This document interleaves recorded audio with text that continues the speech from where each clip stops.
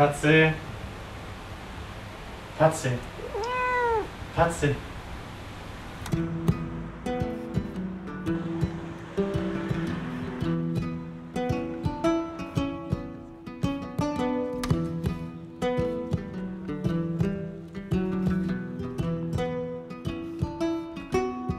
Bonjour, Bonjour. YouTube. Today we are in Maintenon, which is a small town in Centre-Val de Loire region.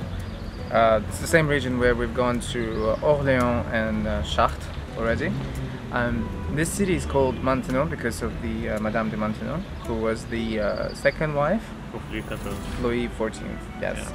And um, behind us is the Chateau de Maintenon, which we are going to visit right now. And there is something else that's hiding behind it. So, on y va.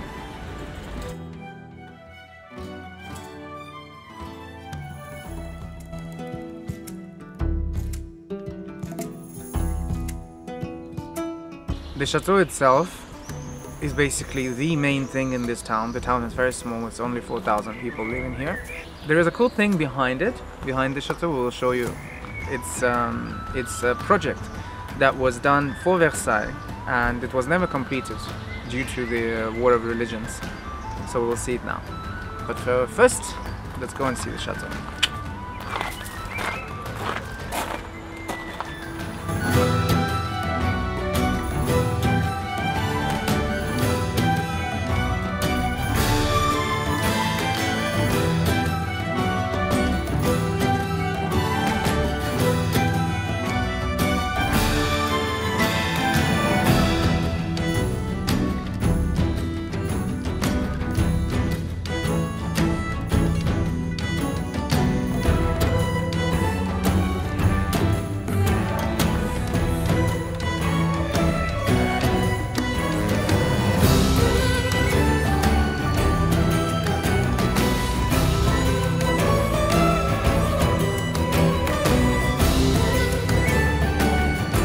Just say, this place is absolutely incredible.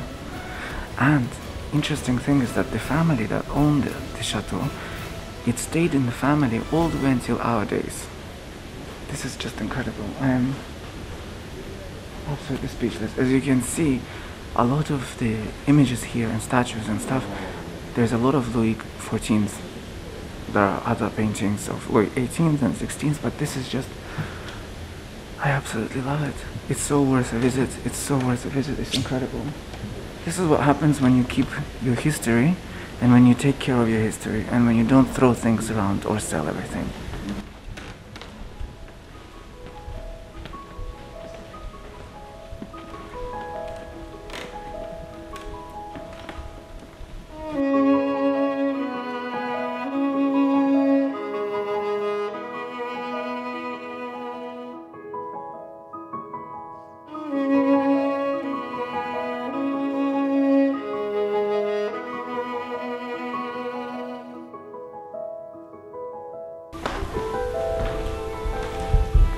What's your favorite room then?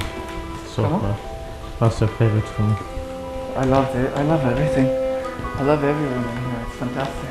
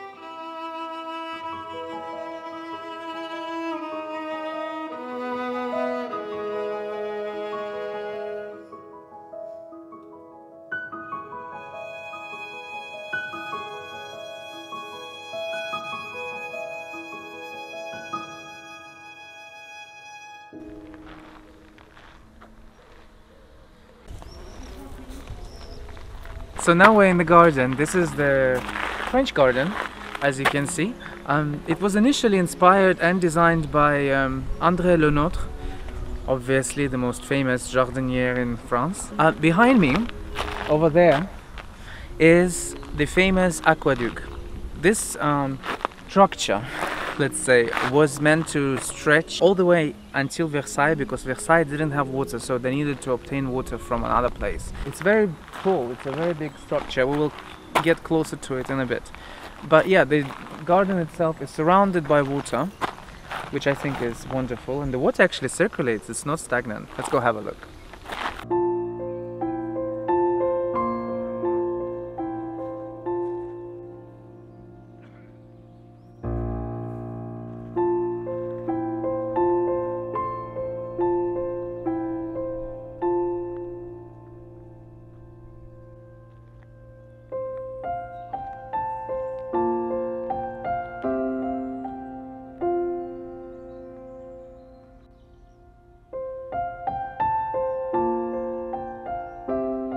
So as you can see, there are two extra layer levels that they were supposed to add. This is such a cool thing, but there is a huge spider on the other side.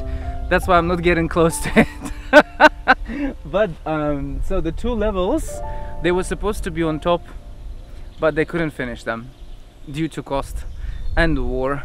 And this was the dream of uh, Louis XIV, but it never got complete. So yeah, let's go get closer to it. It's beautiful. Let's go.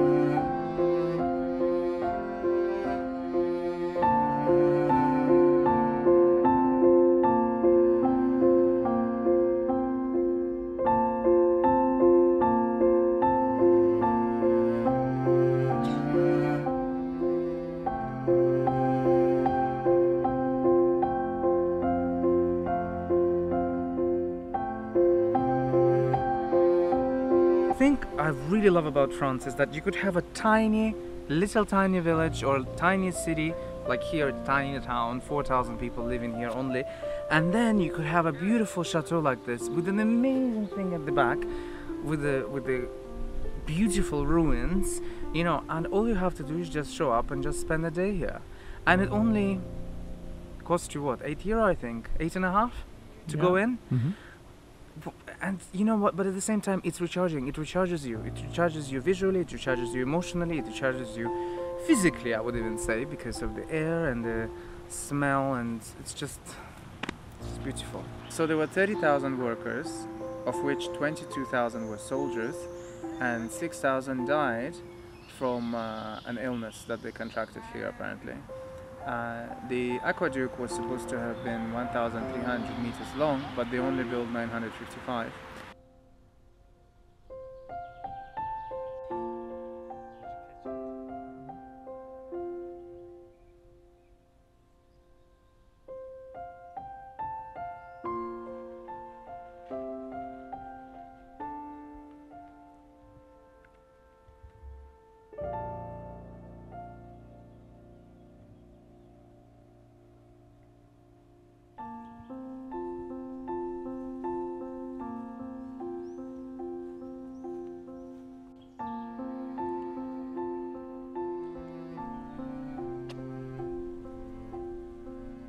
So the story of Madame de Maintenon is amazing.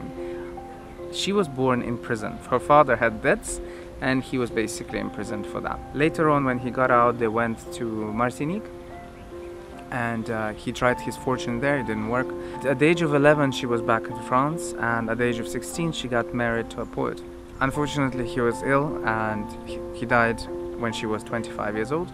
She got hired by Madame de Montespan and uh, who was one of the favorites of Louis XIV. When she was there, uh, she uh, became she drew a lot of interest off the king, from the king, and um, so she became his favorite as well. Now the domain that's behind me, the chateau and the land, um, it belonged to her. She married in secret uh, Louis XIV, Louis XIV, in Versailles. Um, it was a secret wedding, and um, apparently they were in great love and their relationship lasted until he died it's incredible it's incredible to know this and this woman's story herself coming from such humble beginnings and ending up in such a big place wow It's like a soap opera, no? Yes, I think so. Yeah, I think so. Yeah, it's like you know these Argentinian or hmm. South American soap operas where they start from like yeah. Cleaner, you know, scratch. and then suddenly they become almost the queen, you know, because she technically became almost the queen. You know, they kept it a secret, but um, I find it incredible. I find it incredible that she stayed with him all the way to the end. That is crazy.